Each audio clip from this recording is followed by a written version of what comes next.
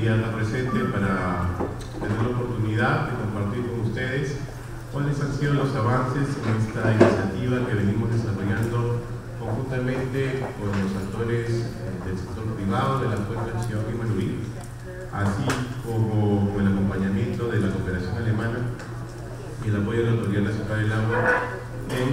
eh, a la disposición de los usuarios de la cuenca, de los usuarios de la cuenca, la información que tenemos eh, que genera la autoridad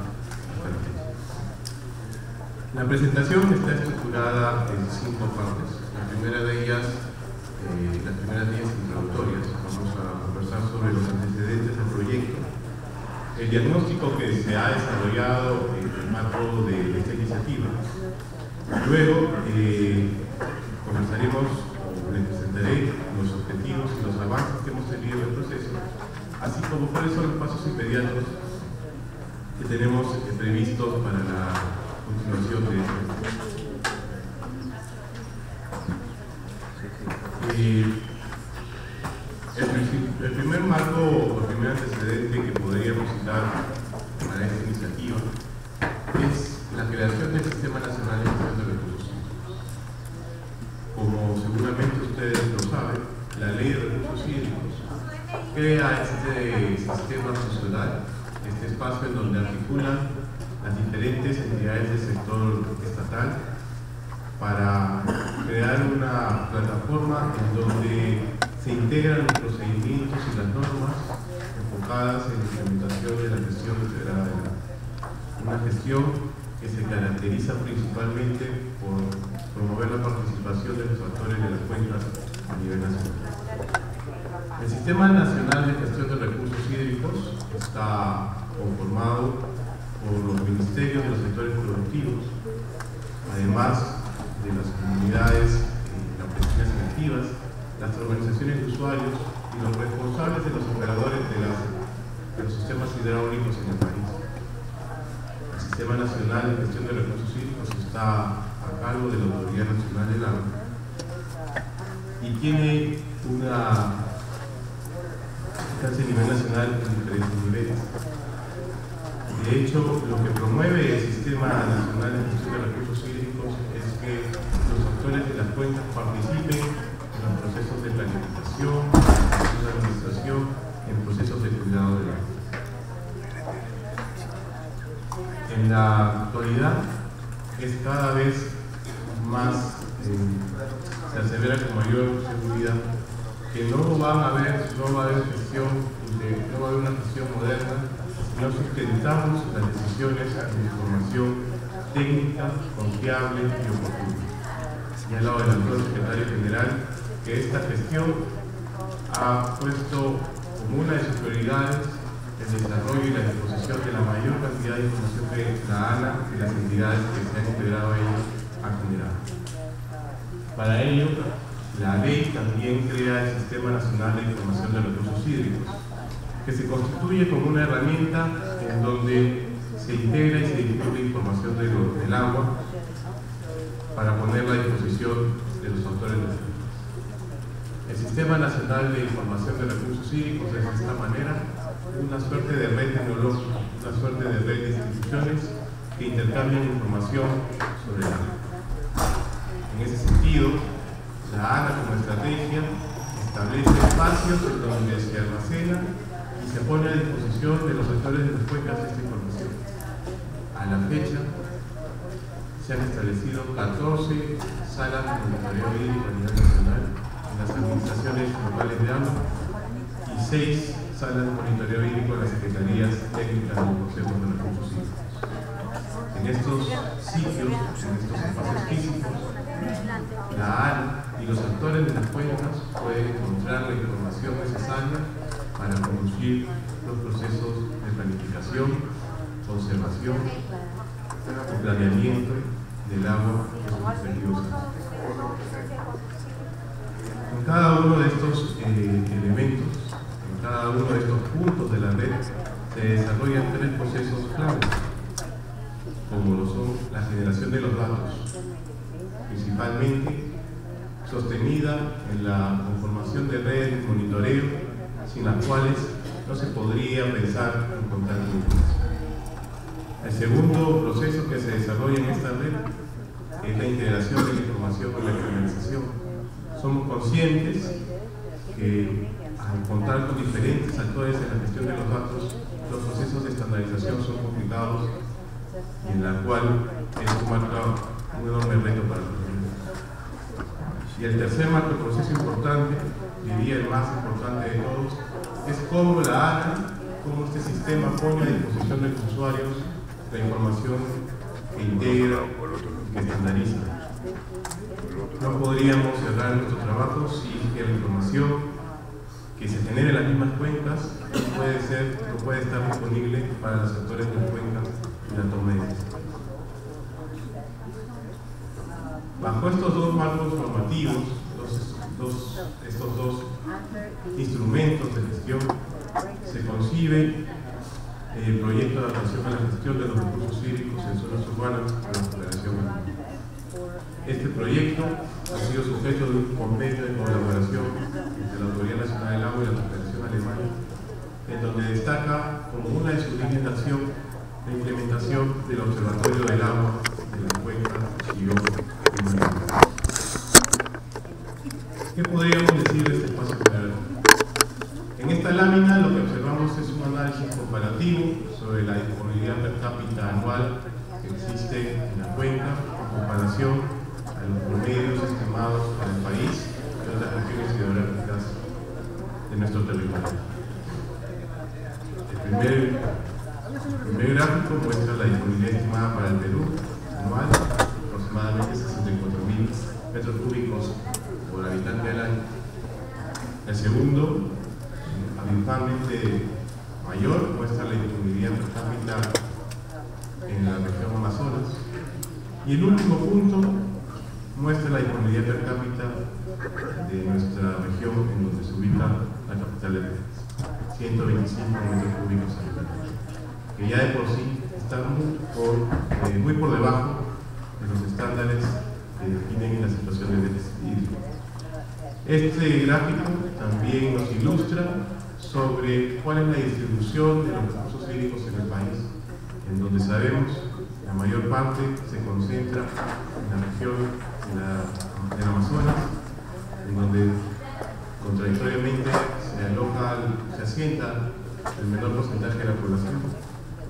y la menor disponibilidad de agua se ubica en la región del Pacífico, en donde se asientan las principales capitales en la capital nacional.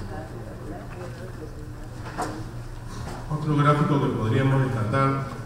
del diagnóstico que hemos elaborado en el marco del proyecto es cómo nuestra oferta de agua superficial puede tener un comportamiento, eh, digamos, sin mostrar mayor, una mayor tendencia, pero en donde los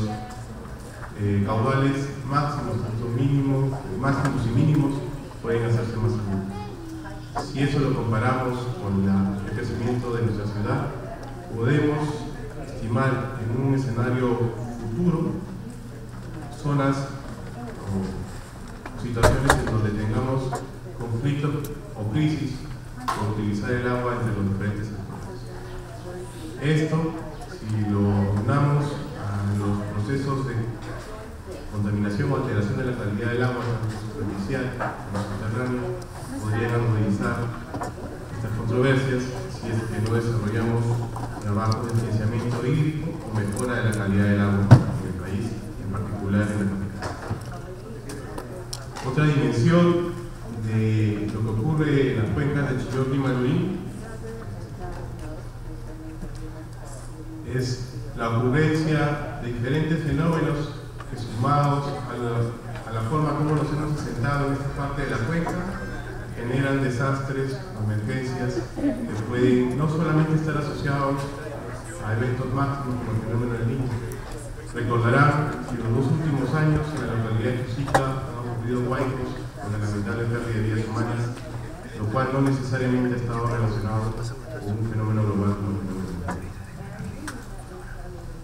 Paradójicamente, en el mismo año también se advirtieron situaciones de déficit en la la regulación de agua que tenemos en nuestras lagunas y embalses que permiten la generación de energía eléctrica y el abastecimiento de agua potable de la ciudad. Otro aspecto que rescatamos de nuestro diagnóstico es que los esfuerzos que se han desarrollado para la integración, para poner a disposición de la, de la población toda la data que se requiere para la toma de decisiones, no ha sido suficiente. En la cuenca del río Rima, tal vez una de las cuencas mejor monitoreadas del país, tenemos información de caudales de ríos, monitoreo de glaciares, mediciones sobre las lagunas operadas por las empresas hidroenergéticas, registro de inundaciones, de consumos de agua en agricultura, registros de eventos de déficit hídrico o sequías,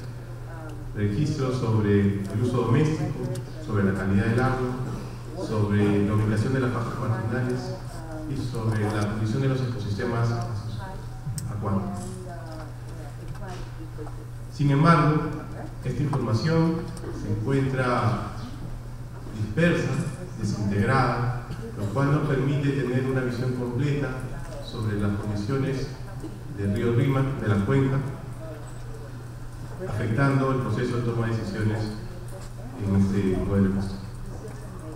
Ante esta situación se plantea crear un espacio en donde se mejore la gestión de los recursos hídricos a través de la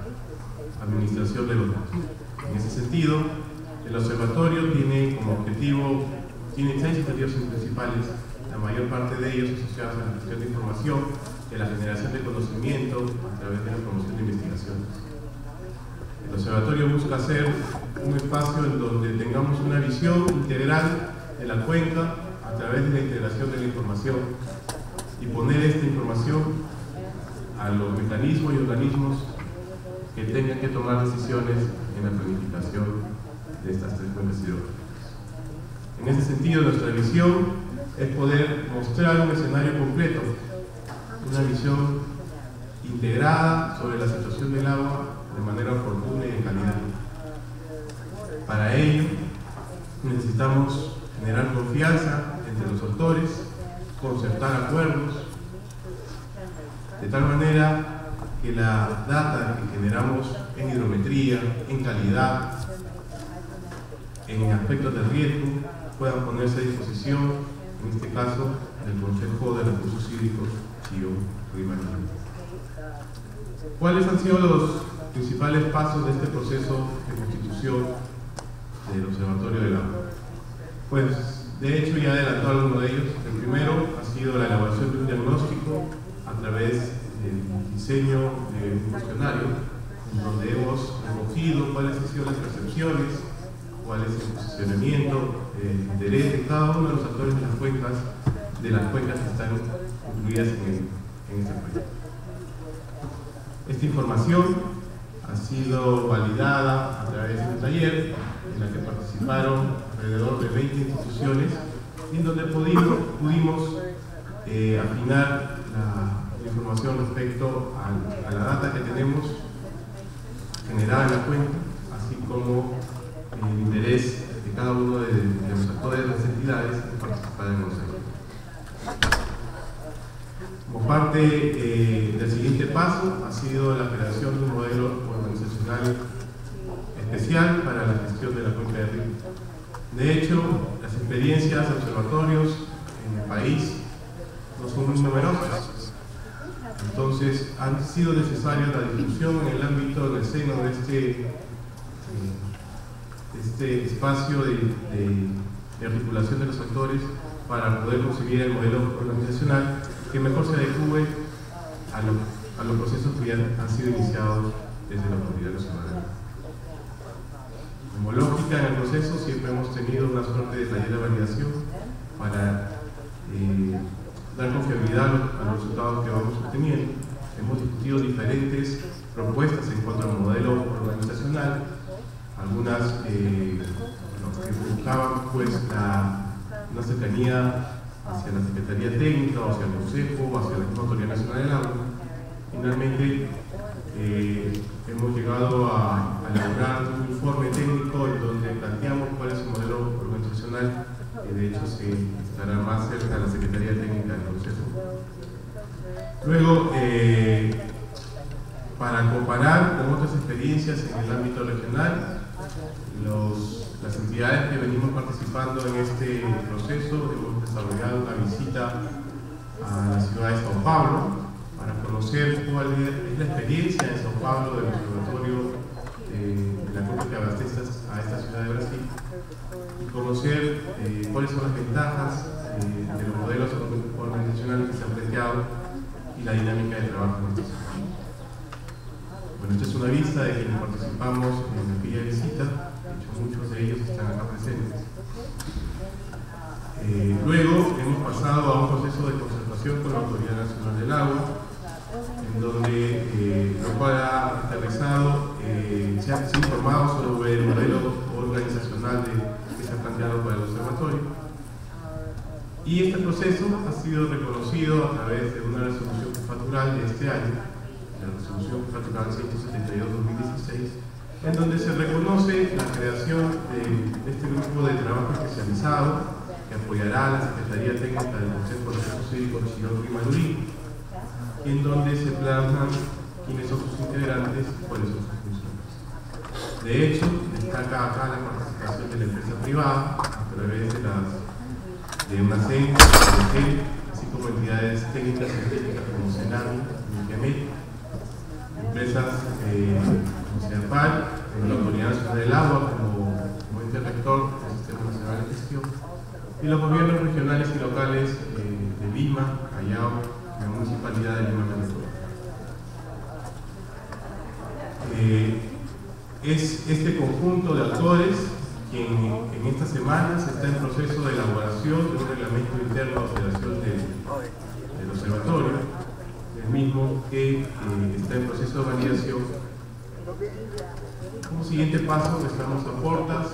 ya de lograr la instalación del observatorio acá en la sede de la institución de la Autoridad Nacional. Yo diría que otro de los pasos claves en el proceso de creación del observatorio es construcción de un concepto sobre el observatorio. Al caso, luego de discusiones entre los que participamos en este proyecto,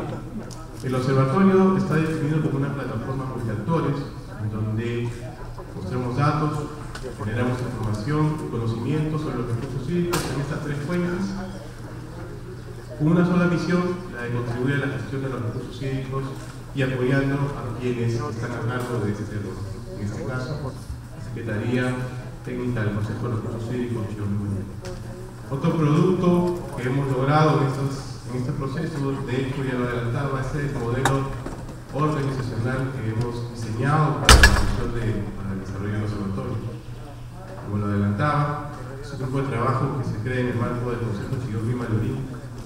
en donde el observatorio entra como una suerte de grupo especializado abocado a la información para ponerla a la disposición de la Secretaría. En este, en este modelo eh, destaca la conducción de un comité directivo integrado por los miembros del observatorio, un comité científico, un director y personal. ¿Cuáles son los siguientes pasos en el proceso del observatorio? Pues ya lo adelantaba, estamos en proceso de aprobación del reglamento interno. Debemos en la primera quincena de octubre lograr la constitución, la instalación del observatorio físicamente, las instalaciones de la Autoridad Nacional del Agua. Vamos a continuar con la aprobación del plan de trabajo y en perspectiva tenemos la construcción o mejorar la gestión de los datos que se, con los que se cuentan en cuentas, empezando por la construcción de una base cartográfica integrada al Sistema Nacional de Información de Datos. De hecho, eh, tal vez una experiencia que quería compartir con ustedes es, eh, me vino cuando estábamos diseñando esta presentación, discutiéndola con, con usted, compañero bueno, eh, vino a la mente un, un, una frase que, que me compartieron cuando recién estaba trabajando. Estábamos haciendo un canal en la tierra de de y teníamos dificultades en la construcción de, de sacar la línea rasante, ¿no? como conocemos los ingenieros. Un comunero, un colaborador, un participante del proyecto me dijo, ingeniero no se preocupe porque el agua siempre busca su camino. Yo eh, creo que con este, este proceso, este proyecto de cierta forma innovador, eh, la gestión del agua ha buscado su camino, acercando a mucho más a los sectores privados, a las decisiones